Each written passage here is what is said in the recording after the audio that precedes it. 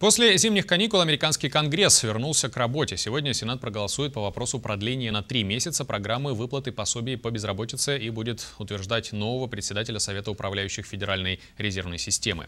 А, как ожидается, Джанет Йеллен станет первой женщиной, возглавившей ФРС. Если ее кандидатуру поддержат законодатели, то уже 1 февраля 67-летняя Йеллен сменит Бена Бернанке на этом посту. Александр Панов продолжит тему. Неприятный новогодний подарок от собственного правительства получили миллион триста тысяч американцев. Те, кто потерял работу более полугода назад. Они потеряли еще и пособие по безработице.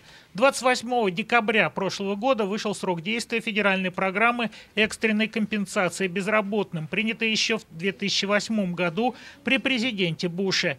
Демократы хотят уже сегодня исправить ситуацию. В нашей стране затяжная безработица, поэтому такой шаг поддержат и демократы, и республиканцы, и независимые.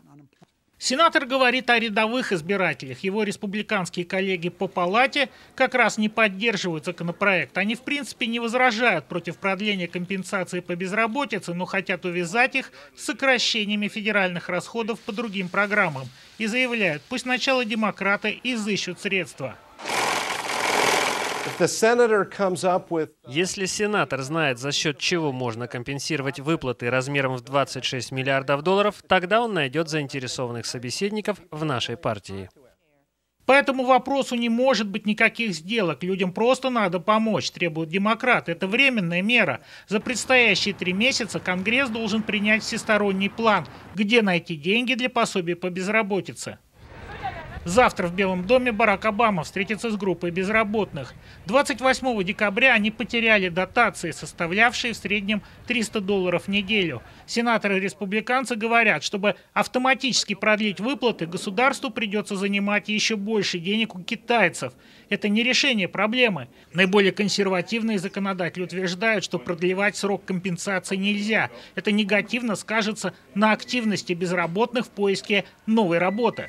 Нынешний законопроект выдвинут двумя сенаторами из штата Невада. Харри Ридом, он лидер демократов в Верхней Палате, и республиканцем Дином Хеллером. Безработица в Неваде составляет сейчас 9%, на 2% выше, чем средний показатель по стране. Демократы готовы к тому, что сегодня не наберут необходимых 60 голосов при голосовании. Тогда этот вопрос будет снова поднят в Верхней Палате, заявил один из лидеров партии Чак Шумер. Если в первый день новой сессии республиканская партия не проголосует за продление выплат по безработице, введенных президентом Бушем, когда уровень безработицы в стране составлял 5,6%, этот шаг повредит республиканцам на выборах в Конгресс.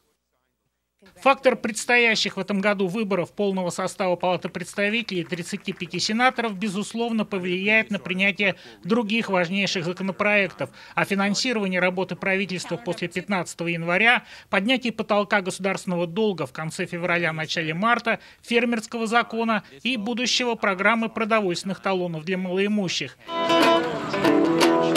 Несмотря на бюджетный компромисс, достигнутый в конце прошлого года, первые дни 2014 обещают возобновление партийной войны на капиталистском холме.